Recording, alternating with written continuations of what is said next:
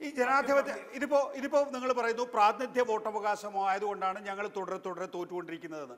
ജനാധിപത്യ വോട്ടവകാശം വന്നാൽ ഇനി ജയിച്ചില്ലെങ്കിൽ വേറൊരു കാര്യം പറഞ്ഞാൽ മതിയല്ലോ. പ്രാതിനിധ്യ വോട്ടിൽ ഞാൻ വിശ്വസിക്കുന്ന ആളാണ് പക്ഷെ അങ്ങനെയാണിക്കണമെങ്കിൽ പത്തോ ഇരുന്നൂറ് വോട്ടിന് ഒരാളാണ് പ്രാതിനിധ്യ വോട്ട്. ഈ ഇരുന്നൂറ് പേര് വോട്ട് എടുത്ത് ചെയ്യേണ്ട ഒരാളായിരിക്കണം ഒരാൾ പക്ഷേ ഇത് വെള്ളാപ്രദേശം പറയുന്ന ആളാണ് ചെയ്യുന്നത്.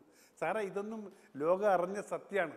ഇതൊന്നും ഞാൻ പ്രത്യേകമായിട്ട് ഗോകുലം ഗോപാലിന് ഒരു ഒരു പ്രത്യേക ഒരു സൂക്ഷ്മമായിട്ടൊന്നും പറയുന്നതല്ല. ഇത് സത്യമാണ്. ഇതുകൊണ്ടല്ലാണ് വെള്ളാപ്പള്ളി വെള്ളാപ്പള്ളി എനിക്ക് പേഴ്സണലായിട്ട് എനിക്ക് വിരോധമില്ല.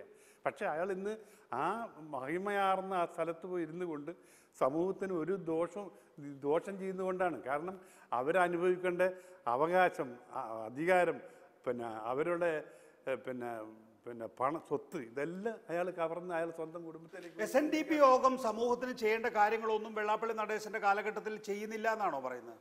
തീർച്ചയായും അയാൾ ചെയ്യുന്നില്ല. അയാൾ എസ് എൻ ഡി പി മുമ്പെയുള്ള ആളുകൾക്ക് എന്തൊക്കെ കാര്യങ്ങളോട് ചെയ്തെന്ന്. ഞാൻ കൊണ്ട് ഓരോ കോളേജ് സ്കൂളുകളും എന്തെങ്കിലും പുതിയൊരു കോളേജ് എടുത്തിട്ട് ഒരു അനുഭവങ്ങളുണ്ടോ? കരുണാകരൻ കൊടുത്ത സ്ഥലം രണ്ടേക്കർ സ്ഥലം അവിടെ കൊടുത്തിട്ടുണ്ട് രണ്ടേക്കർ ഒരേക്കർ. ആ സ്ഥലത്തിന് ഇന്ന് വരെ ഒരു ഇന്ന് അഴുക്ക് കൊണ്ടുപോയിടുന്ന സ്ഥലമാക്കി മാറ്റിയിരിക്കുകയാണ്. ഇന്ന് ഒന്ന് കെട്ടാൻ പറ്റില്ല. എന്തുകൊണ്ട് വെള്ളാപ്പള്ളി നടത്തുന്ന ഒരു ഒരു അവിടെ ഒരു കെട്ടിയിട്ട് വാടക കൊടുക്കാൻ പറ്റില്ല? എന്തുകൊണ്ട് കൊടുക്കാൻ പറ്റില്ല?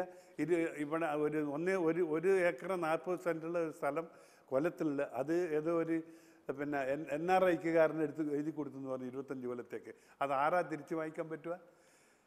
ഇങ്ങനെ ഓരോ സ്വത്തും. തലശ്ശേരി സ്വത്ത് അയാൾ വിൽക്കാൻ പോയി. ഞങ്ങൾ നിർത്തി. കൊയിലാണ്ടി സ്വത്ത് അയാൾ വിറ്റു.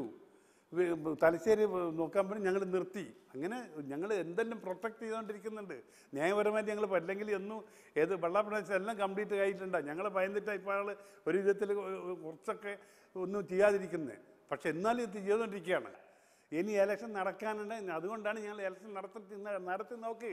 വെള്ളാപ്പള്ളി നടേശനെ നിങ്ങൾ ഇപ്പോൾ സപ്പോർട്ട് ചെയ്യുന്ന ഇതുണ്ടല്ലോ. അവരൊന്ന് നോക്കുന്നു. ഈ നോൺ ട്രേഡിംഗ് കമ്പനി എന്ന ക്ലോസിൽ നിന്ന് വെള്ളാപ്പള്ളി നടേശനെ വെള്ള എസ് എൻ ഡി പി യോഗത്തെ ഒഴിവാക്കി കൊടുക്കുക എന്നുള്ളത് ഈ സംസ്ഥാന സർക്കാരിന് ചെയ്യാൻ കഴിയുന്ന കാര്യമാണ്. അല്ലേ?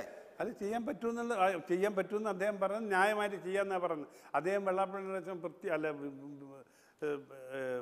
പിണറായി വിജയൻ പ്രത്യേക താല്പര്യം ആരുടെ പേരിലുമില്ല.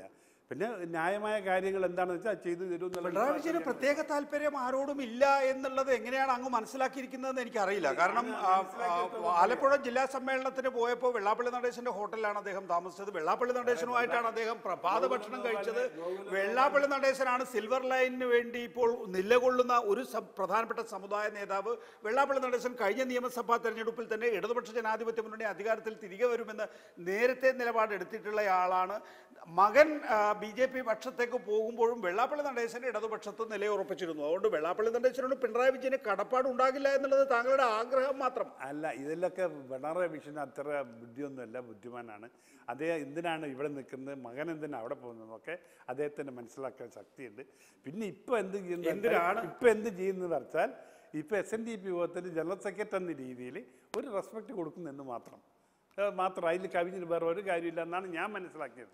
മകൻ അവിടെ നിർത്തി വെള്ളാപ്പള്ളി ഇവിടെ നിൽക്കുന്നതിന്റെ കാര്യം? അതല്ല അവരെ അന്തസ് അത് വേറൊന്നുമല്ല അവരെന്ത് അവരെന്ത് അന്തസ്സാ? അവർക്കൊരു അന്തസ്സില്ല. അവർ സ്വന്തം കാര്യം നേടാൻ വേണ്ടി അവർ ഏവിടെ കക്ഷത്തിൽ നിൽക്കും.